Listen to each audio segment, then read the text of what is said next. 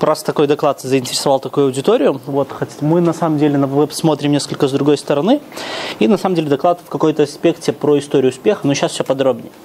Ну, во-первых, кто я? В компанию Wargaming.net я уже пришел 4 года назад, я пришел еще на проект Order of War. Кто-то, может, знает, что Wargaming на самом деле не три года назад основан, а 15.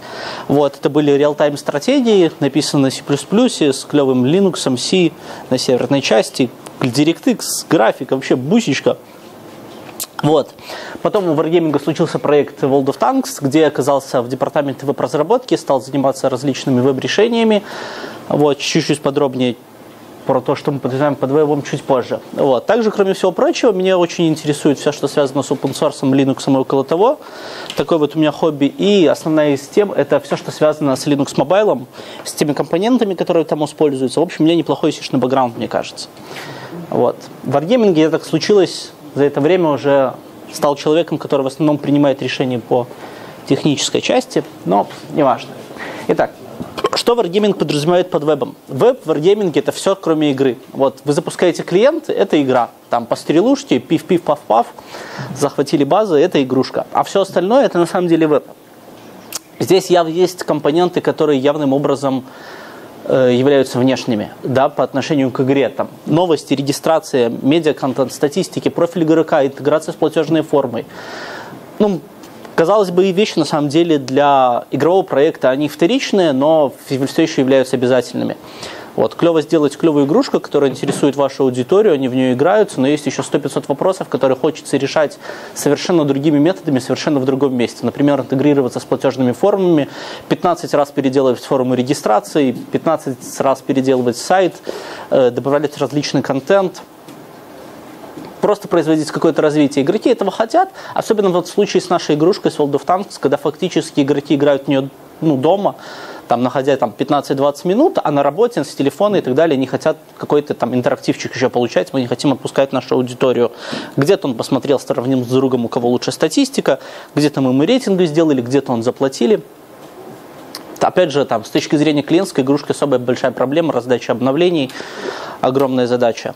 И для решения всех, всех этих задач мы специально хотели бы выделить, ну, просто отдельно от игрушки, пускай там гейм-разработчики занимаются разработкой игры, а мы занимаемся всем остальным.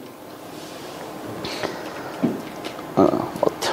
Как бы о чем хотелось бы поговорить. Вот. Сначала я хотел расскажу по тому, как у нас, в принципе, работает веб, какие-то определенные технические решения на именно low-level уровне, сделаны с точки зрения разработки как там что с чем взаимодействует и так далее. Потом как бы поднимемся уровнем выше, это как у нас сделана интеграция с World of Tanks, какие там есть проблемы, специфики. Вот. И поднимемся потом еще раз, еще несколько шагом выше, как мы добиваемся того, что у нас веб в данный момент является одновременно решением, такой частью веб-платформы для поддержки множества игр, и мы двигаемся в, какую-то такую, в какую сторону мы дальше двигаемся. Итак, на самом деле, вот всю ту штуку, которую я нарисовал, там, про новости, обновления, медиа, контент и прочее, на самом деле это все огромный пласт кода, огромный пласт функционала, который различные команды дорабатывают. Есть огромное количество людей, которые хотят определенное количество исправлений. Кто-то хочет, там, не знаю, в регистрации кнопки пилить, кто-то хочет новости, кто-то хочет там турниры проводить, клановые войны, рейтинги добавлять и так далее. Все это как бы приводит к тому, что в рамках одного проекта разрабатывать такое ну, достаточно сложно. Хочется там, не знаю, разделить его на кусочки, каждой команде дать свой маленький кусочек, пускай каждая команда занимается простым, понятным своим кусочком, вот, например, новостями или там регистрацией. А все остальные, грубо говоря, там команды, каждый своей, там приходит пол задач, разбили, иметь раздельный выход, опять же, в продакшн, отдельно там обновление. Вот. Ну, это как бы, ну, в принципе, эта штука называется сервисная архитектура. Когда, ну, у нас нет огромного большого сайта, типа World of Tanks на котором все-все-все. Вот. На самом деле там внутри много-много-много частей, которые взаимодействуют между собой по различным протоколам. Самые популярные перечислены. Вот, для игрока часть из этих взаимодействий не видна, вот, часть видна. Там, ходите вы там, на различные сайты для форума, для танчиков, для самолетиков. Вот, это приводит к тому, что такую систему легче поддерживать и легче, ну, в принципе, разрабатывать. То есть тупо поток управления требований. Можно спокойно посадить отдельно там двух разработчиков, которые будут пилить регистрацию. Вот, и не будет там мешать, ну, типичная проблема для больших компаний, какой-то другой проект менеджер который прибегает и кричит, нам срочно нужно там кнопку желтую сделать. в каком-нибудь месте. Итак, стек технологий. При выборе стека технологий, на чем разрабатывать несколько лет назад, мы пошли по принципу максимальной популярности, максимальной простоты и удобства. То есть для нас, в принципе, те сайты, которые вы видите на сайтах Wargaming, это простые веб-решения. Эти технологии, которые мы используем, они уже ну, просто в школе скоро будут проходить, как что сделать. Вот на самом деле у нас есть вариация в левом столбце на наша собственная вариация на тему классического ламп-стека. Вот, единственное, что у нас питон, вот, и несколько дополнительных уровней. Вот. Э, необходимо это, еще раз подчеркну, как бы любой человек, не знаю, может там, во-первых, на рынке огромное количество людей, во-вторых, оно все очень простое, в-третьих, безумное количество документаций. MySQL, там, Apache Nginx, ну, 100-500 мануалов написаны, реально огромное количество опыта накоплен. Все эти инструменты, они очень стабильны. И здесь еще вот э, кроется такой важный момент, действительно не хочется копаться в проблемах чужих решений. Э, причем, когда у вас возникают проблемы на продакшене, вы их вынуждены решать за часы. А если вы вынуждены решать за часы, то вы, простите, не можете даже обратиться в сторонний суппорт. Они не успеют ничего сделать за часы. Вот, вы должны понимать, что вы сами должны решать свои проблемы. Вот, и поэтому вот мы достаточно серьезно опираемся на open source, потому что в его, по крайней мере, можно залезть и изучать. Вот, на open source решения. А во-вторых, э, мы используем самые популярные стабильные решения, причем не стремимся за самыми свежими версиями, а находимся обычно на предыдущей стабильной версии. Вот, это позволяет нам ну, программистам тупо делать свою работу по там, добавлению нового функционала, который, опять же, вебовский функционал достаточно простой и понятный. Вот. На самом деле, в жизни так не бывает, что можно взять там какой-нибудь пулю выбрать, да, там, серебряную, и все будет работать. У нас тоже так не получилось. И на самом деле мы поняли, что мы, в принципе, не стремимся весь веб делать в рамках одной технологии. У нас возникла понимание того, что какие-то определенные задачи, например, там, сервис обработки платежей от платежных агрегаторов, он должен быть поддерживать специфику работы тех сервисов, да, там какое-то долгое время происходит начисление платежей, могут быть какие-то проблемы, его, например, лучше написать на Twisted. И могут быть проблемы на определенных сервисах с модой VSGAM, например, апачевским. Ради эксперимента запустили что-то с VSGAM. Мы не стремимся все писать сами, поэтому, грубо говоря, взяли там готовый форум, который мы дописываем на PHP. Redmine, ну там понадобилось какой-то тул для поддержки внешних пользователей, там поставили Redmine, на Ruby его немножко дописали. Где-то понадобился, например, э, кто там сталкивался, не сталкивался, есть огромный функционал, так называемый гист решений для геоинформационных данных. Понадобилось, добавили PostgreSQL в конкретно одном месте, переключились на PostgreSQL. Отдел аналитики хочет лопатить огромный объем данных – вот. Там им стабильность гораздо меньше нужна, там проблемы с MongoDB их не волнуют потенциальные. Они поставили 7 MongoDB. С продакшена выгружаются базы, загружаются в MongoDB, они делают к ним аналитику. Мы, в принципе, любим экспериментировать точечно различными технологиями. И вот как пример я привел Redis. В одном месте мы решили попробовать вместо Memcache для хранения сессий использовать Redis. Но это все-таки точечные вкрапления. А вот опять же, как бы в противовес этому, вот у нас есть любимый мейнстрим, который мы вот ну, я не знаю, надо кому-то что-то пояснять. Неужели там левым стопцом, наверное, пользовалось 99% здесь присутствующих? Представляют, как делать веб-решение, прочитали книжку там по ХП за 20 минут. Питон тут не отличие, там то же самое.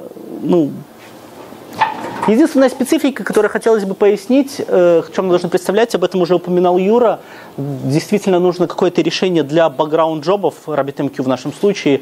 Это просто сервис, который даже не для общения между нодами, а для того, чтобы определенные задачи, которые занимают долгое время, кинуть в бэкграунд, в бэкграунде их сделать и потом вернуть результат. Вот. Хотелось бы вот на этом моменте, здесь поднимите руки, кто знает, пользовался MQP.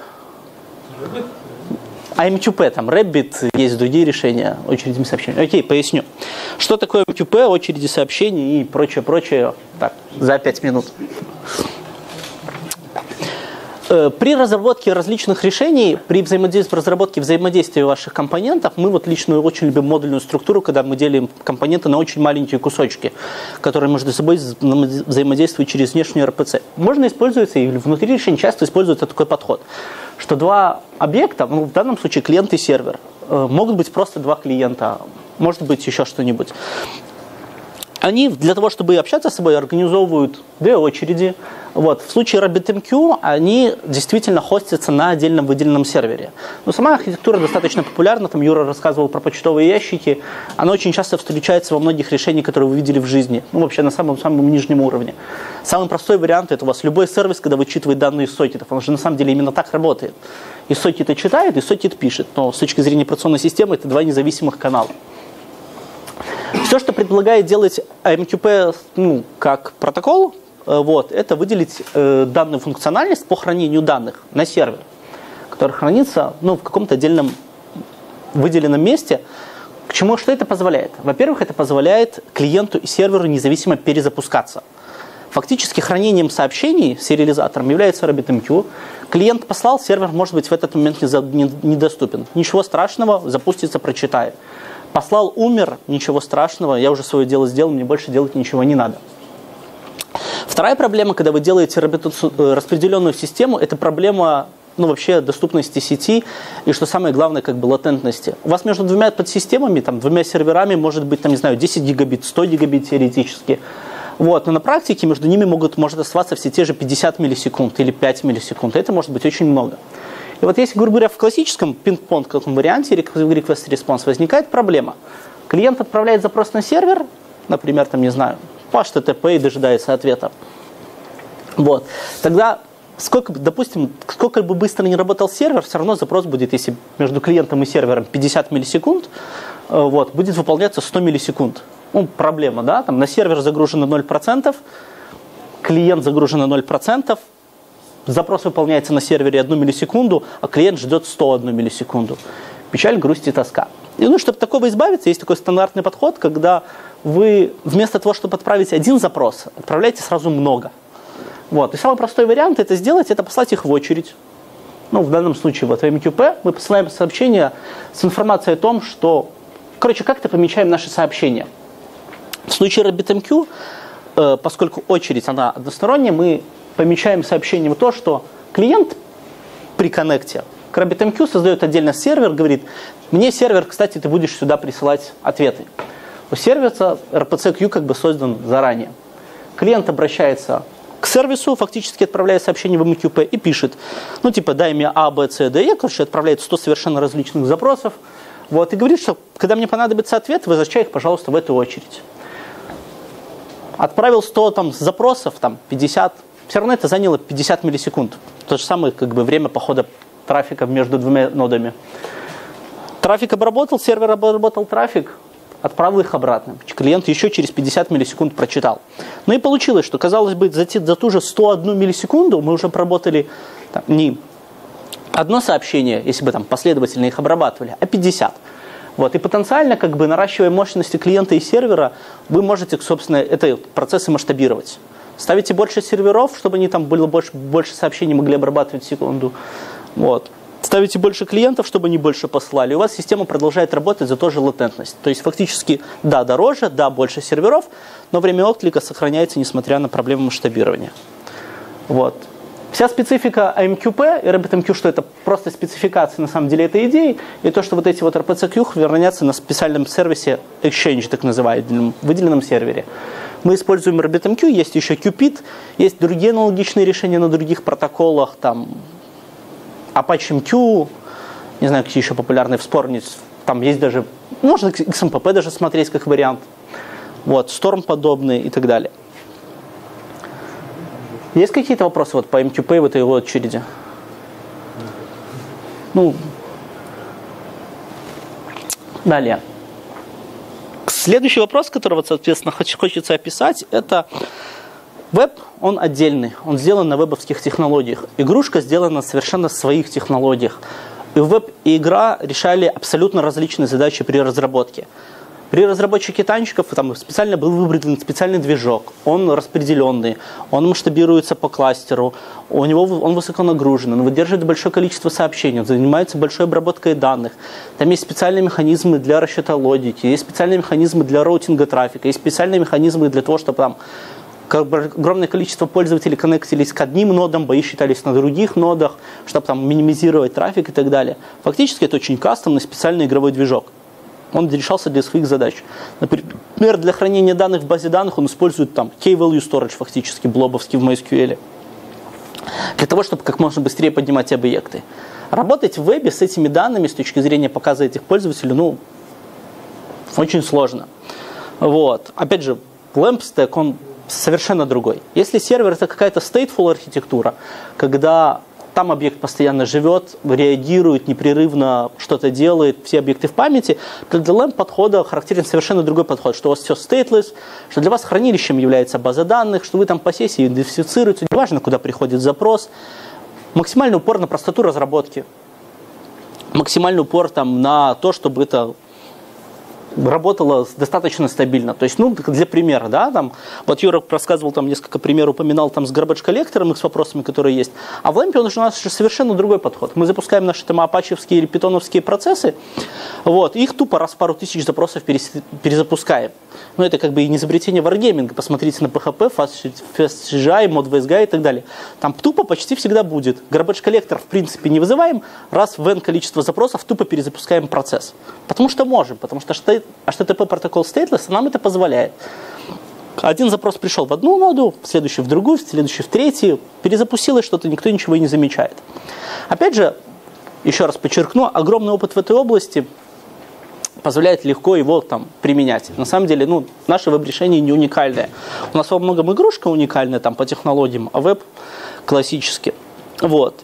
Но задача, которая встала перед нами, это синтегрировать эти два решения, сделать так, чтобы для пользователей они были прозрачны, независимы и, по крайней мере, позволяло работать совместно там, для достижения каких-то, не знаю, заплатили, получили деньги, да, там самый простой вариант. Сыграли бой, увидели в статистике.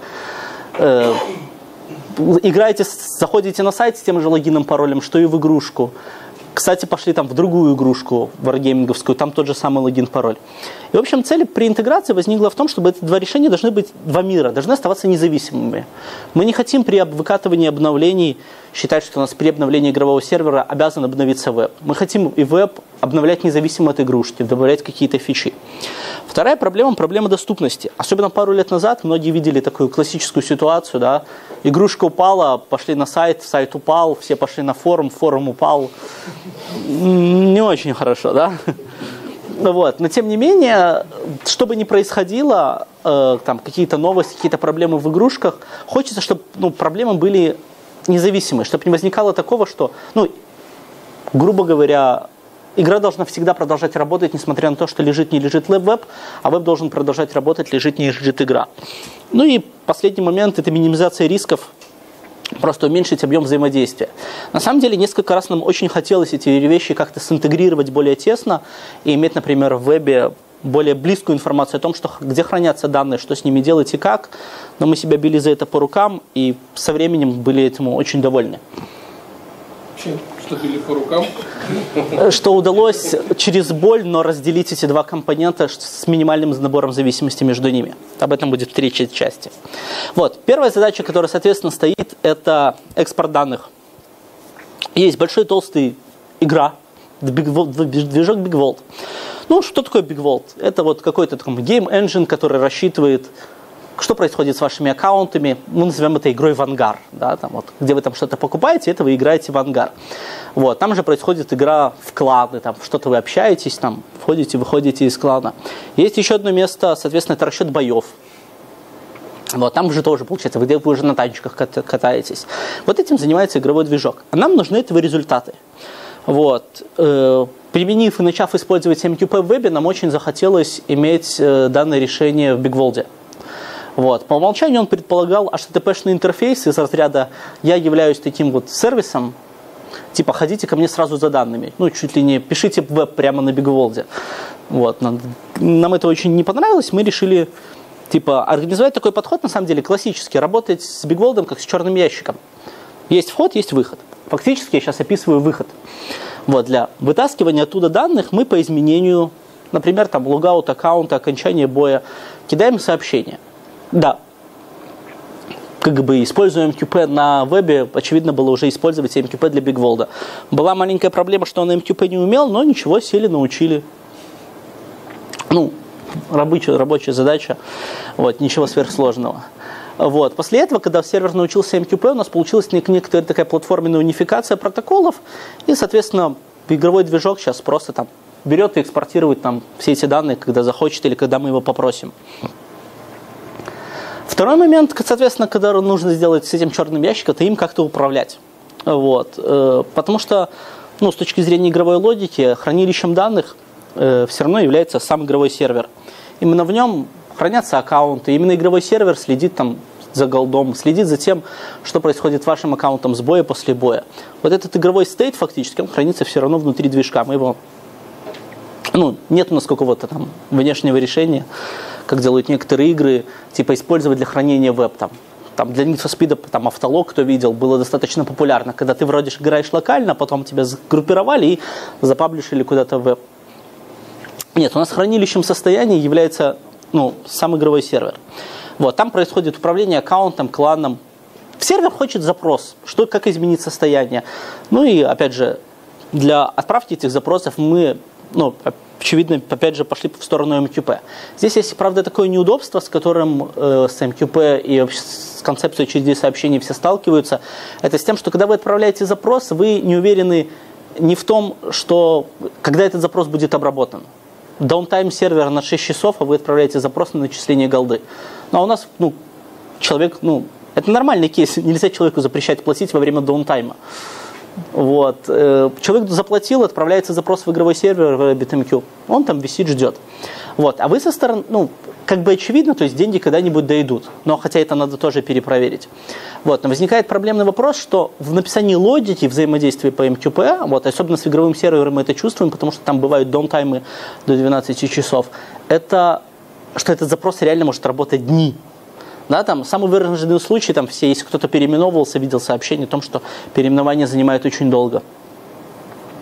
Вот. И при написании логики получилось такое взаимодействие, мы действительно там, не можем там в раппер написать, который просто 3 секунды подождет и проверит, готово, не готово. Действительно, надо там сохранять какую-то информацию о джобе в базу данных, о том, что я отправил запрос там, на начисление денег, а там раз какое-то время приходить проверять, как, что там случился. Пока нам сервер таки не скажет, что да, начислил или да, не смог начислить. Вот, вот этот асинхронный подход, он бывает как бы локальным, из разряда вот это секундным. Но помните, что на самом деле синхронность подразумевает и то, что запрос реально может обрабатываться часами. Вот здесь есть два варианта, либо действительно там, быть готовым к этому и ждать, либо в сообщение закладывать информацию о том, что, как мы делаем для определенного типа сообщений, есть сообщения, которые должны просто отправиться в игровой сервер и когда-нибудь выполниться, например, там, переименование или начисление голды. А есть сообщения, которые мы хотим получить быстрее. Из разряда хотим гарантированно знать, вошел ли человек в клан за 2 секунды. В этом случае в сообщениях просто помещается такое понятие, как дедлайн. Вот. Мы сообщение помещаем, в сообщение помещаем информацию о том, что после, если оно не будет обработано за 2 секунды, нам его результаты в принципе не важны. Вот. Фактически, предположим, два варианта. Либо сообщение успело дойти, мы получили результаты, все счастливы. Если не успело сообщение дойти, например, там лежит в RabbitMQ, а сервер в данный момент перезагружен, то мы уверены в том, что когда сервер стартанет, он прочитает это сообщение, получит информацию о том, что оно, вообще говоря, должно было быть обработано 6 часов или там, 3 часа назад и скажет, нет, тебя обрабатывать не буду. Вот. Исходя из этого, мы уже знаем на своей стороне, что, грубо говоря, на стороне веба, что если мы отправили сообщение, но через 3 секунды нет результата, мы говорим, окей, потом пошлем еще раз. Вот. Сделав такую инфраструктуру, фактически, мы научились управлять игровым сервером и скажем так, концепция черного ящика заработала. Есть некоторые интересные моменты, которые возникают, например, в создании боев. Такой вот пример приведу. Вот. Есть э, клановые войны или там турниры, есть в том числе задача такая, рассказывать клиенту информацию о бое на том языке, на котором ему будет понятно. Вот. И вот как пример как бы такого там, можно там завести тип боя 15, не знаю, там тип текстового сообщения 15 в плане локализации. Вот, перевести его в клиенте, иметь в ресурсах клиентах информацию о том, что строчка с таким-то, ну, стандартно, да, там, ID, ее надо переводить таким-то образом на все языки. Вот. А там на сервере, в вебе, там, на сервере клановых боев создать, сохранить информацию, что мы сейчас эту строчку отправляем. Вот. Отправили, казалось бы, все хорошо, но возникает проблема, что если нам нужно добавлять какую-то новую строчку, идентификаторы, или там хочется изменить переводы, то приходится синхронизировать выход веба и сервер, а мы этого не хотим. Вот. Чтобы таких вещей, например, избегать, вот, мы просто весь payload по информации, которую мы хотим передавать клиенту, мы его, если формируем на вебе, то мы его целиком формируем на вебе со всеми переводами. Фактически при создании, например, боя, веб формирует не только задачу на создание боя, но и описывает всю метаинформацию об этом бое на всех языках, которые знает. Она отправляется в сервер, сервер знает язык клиента и из этого там пула 15 переводов, которые прислал веб, отправляет. Таким образом, фактически перенеся вот, вот этот вот payload переводов на веб, вот мы позволили продолжать это независимо обновлять. Вот подобные решения, когда мы вынуждены часть логики переносить вот в то место, где оно инициируется, фактически готовить ну, большой объем данных, вот, оно стало достаточно типичным и, в принципе, очень хорошо себя показывает.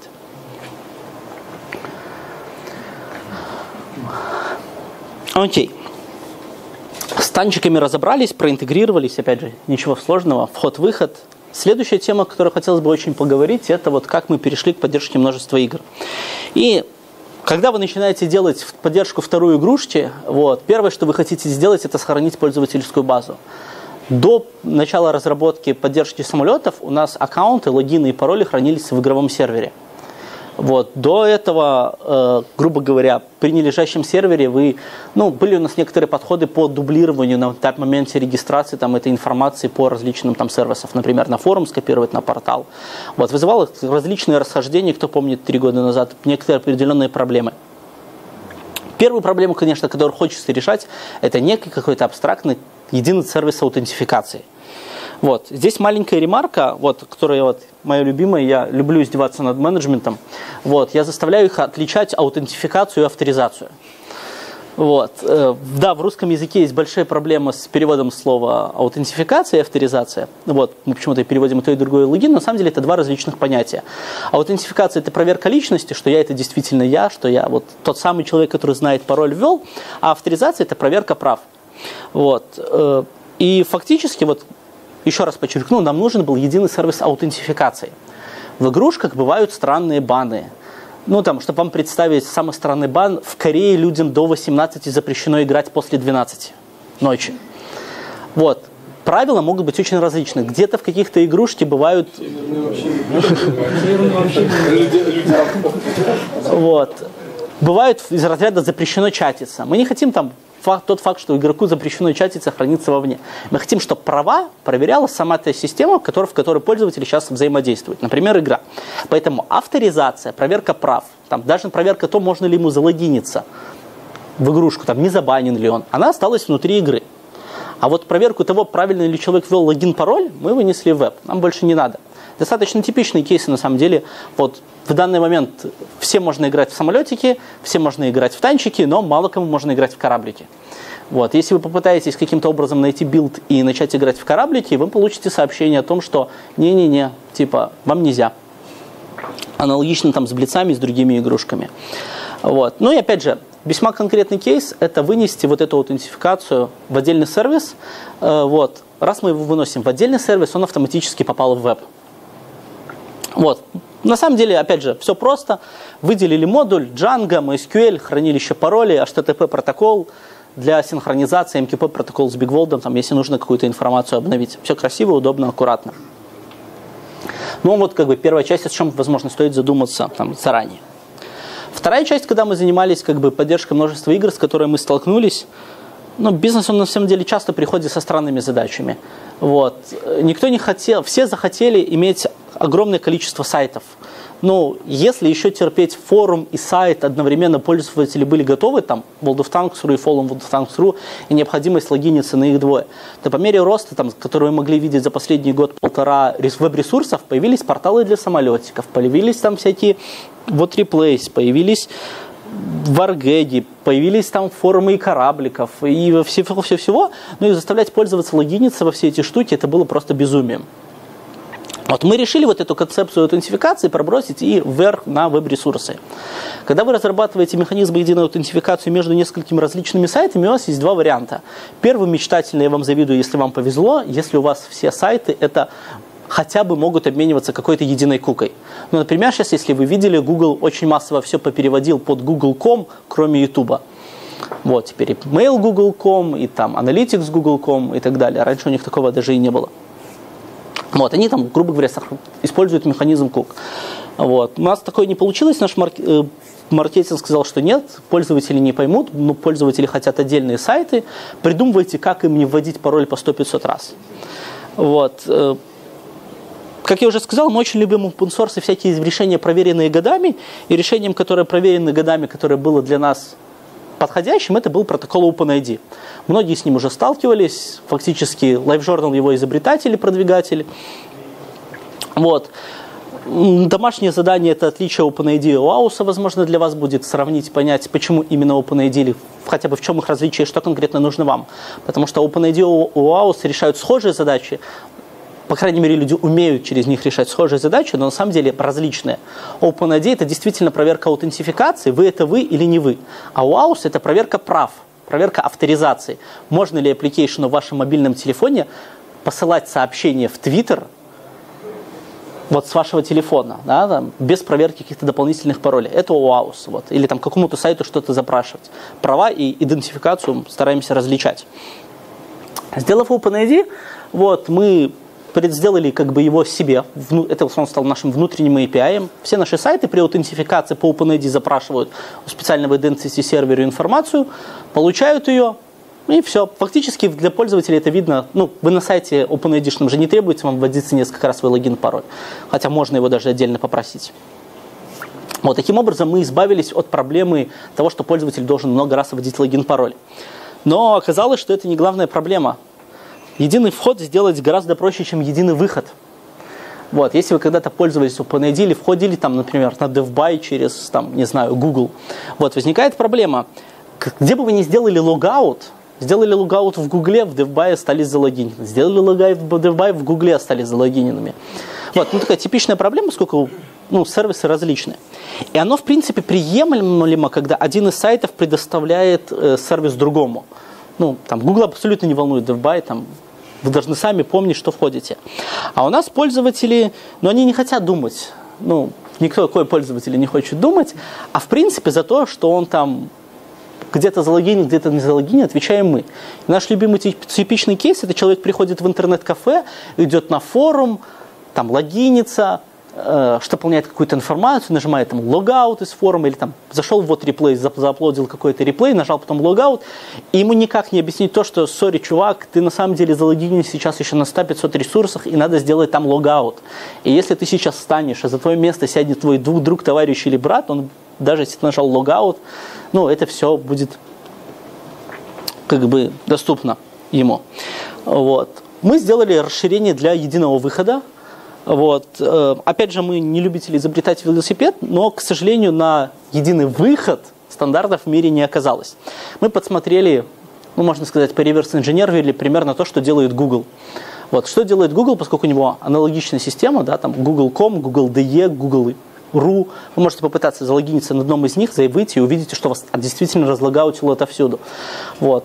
Мы повторили их подход, что на самом деле просто на сайте логаута ну, нас вот этом identity сервере происходит логаут, и при логауте открывается страничка, все можете ее посмотреть, там, захватить, вот, в которой просто открываются там пиксели стандартные, ссылки на все ресурсы, которые в Wargaming бывают, вот, чтобы туда отправился запрос, что у такого-то пользователя надо куку почистить. Ну, просто взять и дропнуть. Вот, это обеспечило, соответственно, единый выход. Получилось как бы аккуратно, хорошо. И мы стали на капельку ближе к тому, что, соответственно, теперь при добавлении новой игрушки или там при добавлении безумного, безумного количества сайтов особых проблем у пользователей не возникает, им красиво, удобно, аккуратно. Следующий шаг, соответственно, это то, что происходит в данный момент, то, что вы заметили совсем недавно, и, возможно, вы сможете сейчас предположить, что мы делаем в будущем. Э, про раннюю интеграцию игр. Да, теперь, э, когда у нас готова такая инфраструктура, мы на самом деле ее выстраивали вместе с самолетиками, и теперь получается, что все, для всех последующих игр она готова. Другим играм интегрироваться легче, мы уже не должны что-то на лету дорабатывать, и в данный момент это позволяет нам на самых-самых на ранних этапах игры игрушку включать в продакшн. Вот, с проверкой прав, с проверкой аутентификации, но даже нашим самым топовым менеджменту на самых каких-то этапах альфа-версии уже не нужно там выдавать им отдельный логин и пароль. Мы им говорим, короче, используйте ваш танковый логин и пароль, все будет хорошо. Вот.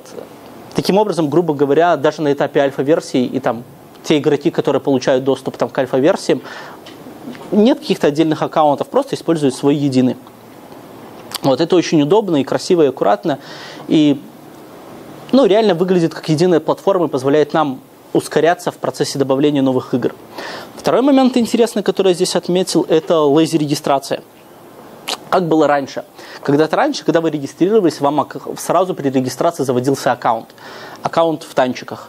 Вот. Причем под аккаунтом в танчиках я подразумеваю то, что прямо на BigWorld, на игровом движке появлялся блоб с информацией о том, какой у вас ID, что у вас там ангар из э, четырех в данный момент, насколько я помню, там танчиков первого уровня, что танкистов зовут Коля, Вася, Петя и Жора, э, какого у вас там даты регистрации, какой там базовый набор параметров.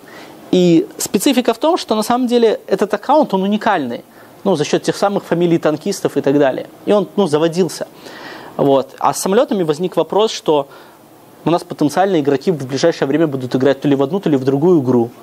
Ну, печально как-то. Танкисты стали, стали пилотами, что Ну, игроки, да. Нет, нет, в базах, базы совершенно различные. Но суть в том, что при 10-миллионных аккаунтовской базе, при достаточно большом информации там, об одном человеке, начинает происходить процесс, что у вас в одной из двух баз накапливаются пустые данные. Они просто лежат там, занимают место, их гораздо сложнее мейнтейнить. И мы от процесса ну, достаточно сделали очевидный шаг, мы перешли к процессу, что в игрушках стали заводиться вот эти вот блобики при попытке логина. При первом входе в игрушку будет вам все-таки задаваться аккаунт. Такой небольшой, но все-таки очень полезный шаг для нас, что не привело к необходимости того, там, заводить сразу там, в день запуска самолетов 10 миллионов аккаунтов в самолетах. Вот. Это как бы позволяет, ну, концепции, возможность сделать это, да, позволяет сделать на основании того, что теперь аутентификация – это внешний сервис, сделан в тупую в лоб в вебе, логин, пароль, права там, логин, пароль там, все. А вот игрушка, когда заводит аккаунт, она идет в веб и говорит, типа, логин, пароль правильный, правильный, а у меня его нету. Ну, заводи, раз нету. И он создает аккаунт, это занимает там несколько секунд дополнительных, но тем не менее. Вот. Третья штука, которую мы решили сделать, это в продолжение этого, это уже несколько выношение концепцию уже по унификации игр, это по концепцию того, что у нас единый премиум, каждый может сейчас наблюдать, заходите в одну игрушку, покупаете в одну из двух игрушек, либо там, за гол в танках, либо за токены в самолетах, покупаете премиум, и он появляется в другой игрушке.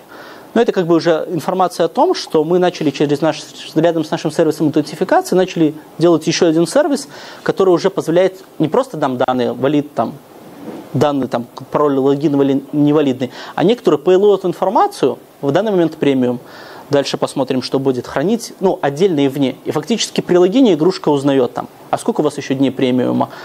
Да, в игрушке покупая премиум, вы потом отправляете какую информацию в сервис сторонник, который вам начислит.